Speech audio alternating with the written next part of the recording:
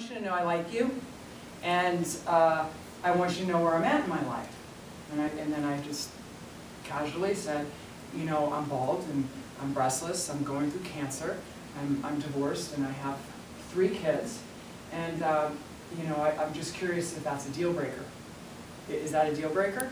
And so there was this, I could see, so it was the sushi bar, so I, I just immediately went forward like this, and I'm like, inside, I'm like, oh yeah, I did it, and I'm willing to love and accept myself anyway.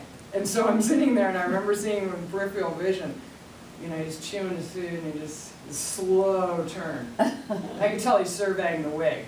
You know, he's kind of shaking his head, and he wipes his mouth, and he's just kind of shaking his head. I'm like, alrighty now, any response? And so he, he said, you know, and he goes, that's a sweet looking wig. And then he said, that's all right.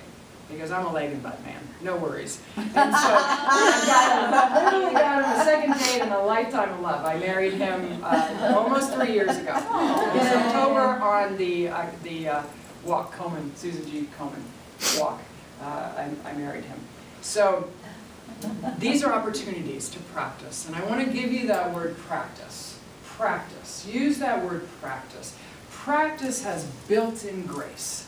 Practice has built-in grace. I'm practicing. I work with a lot of businessmen and women, and there's, there's fear over presentations. There's fear over travel. There's, there's fear over uh, whether or not they'll meet their quota. All of those things. So this is just practice. Practice. You are practicing building confidence. You are practicing transparency. You're practicing loving and accepting yourself even if you do get everything done or you don't. This is practice. Now, when you fall or stumble or have a setback or become unconscious and fall asleep at the gate and at the end of the day you're overwhelmed because you weren't alert at the thoughts coming out, so you started to label them as a threat, you begin again. The most wonderful thing is to begin again. You can begin again a hundred times a day. And you did this, or I saw you all walk in here. So you obviously know what this process is like, or you'd still be crawling. You would have been crawling in here because after the first time you said, forget it. I'm not doing that anymore. I'm not falling anymore. How many times have we done that in our life?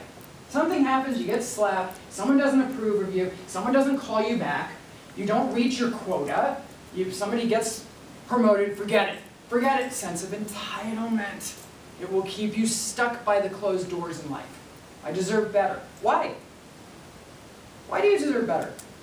I- I'm, I'm curious. What's the programming underneath that? Why do you feel like you deserve better? Because it's very interesting talking to people around the world of what they feel they need in order to feel that they've made it. So where did you get your programming from? How free, how free the experience of being a human being when you do remember you're enough. You've all been gifted with different gifts and talents. I've been gifted with gifts and talents. There's no comparison. I'm a, I'm a gardener. I love, I love gardening, and, and I just planted 18 lily bulbs, and I saw one of them just piercing through the, the uh, chips yesterday. So I got my camera and I ran out, took a break, and I took a picture of it, and I put it on my Facebook. And I said, wow, look at this divine intelligence. I sunk this bulb six inches into the dark, cold, and it was granule, and we got clay in Colorado. You know, you got to really work it to get something in Colorado. Whereas back in New York, you drop it, and in a week you have a tree. And so, as, it's, as, as, I'm looking at this, I said, look at this divine wisdom in spite of the elements, in spite of the dark. How the heck does this bulb know that its purpose, its God-given natural state of being is to bloom? How does it know that? Seriously. I've been, I've been contemplating it this week when I saw this little thing shoot through the chips. I, said, I, I, I called my husband, I called my kids. I said, look at that! look at that! And they're like, what? that! That is an invitation of remembrance of what is woven within our beings. We are created, our God-given natural state of being is to bloom. Bloom! Whether you're bald, whether you're breastless, whether you have a job, whether you don't, whatever the situation is, our natural state of being is to bloom, to connect, to love, These are the things that you reflect on as you gaze into the sunset of this life. And everybody that's been made aware of how short this life is, particularly going through the experience of cancer, as you remember what you value most in life and you align yourself on a daily basis. I encourage each of you, sometime this week, 10 things you value most. Put it someplace where you can see it and reference it. The stress comes in when you are not aligned in your day with what you value most. You know this to be true because you'll have the anxiety. A human being will come in your presence, want to share something, want to talk, your child, whatever it is, and all of a sudden the stress starts coming up. Listen to it. It's an invitation to realign. Oh, that's right, I value people above things. I have a little statement, people before things. I learned this from Leo Buscaglia when I was 16 years old. People before things. Do I always follow that? Heck no. I do not. And it's my intention to begin again when I don't.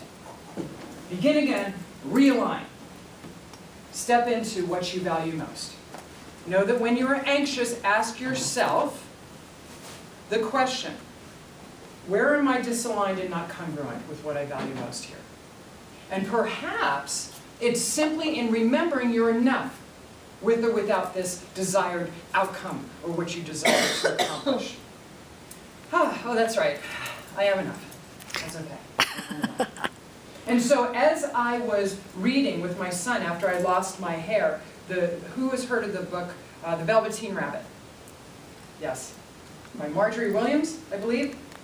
The part where the skin horse is talking to the rabbit, these two toys, and this, the, uh, the, the, I believe it was the rabbit that asked the skin horse, so when do you know when you're real? When do you know when you're real? When, when do you know when you're real? That's a good question. I. And so, he was- he was- he was fine. He was very nicely. He said, "Well, you're not gonna real when you lose your hair." Popping out. And you become limp in the joints. And, uh, because it's then you know you're loved. And so I'm reading this section to my son, and he puts his little 10-year-old hand down on the page. And he said, Mom, you're a rabbit. You're a rabbit. You're bald. You've been loved so much. This is what my son said. And it's in my first book, Hearing His Whisper. I could not believe it was coming out. God was just barring his mouth to remind me of the essential truths that I was forgetting at that time. You are loved. You are loved. I encourage you to not shrink back from challenges in your life. Because it is through those challenges that the doors of opportunity for growth open up. I don't know why it's like that. I haven't fully figured it out. I have some ideas.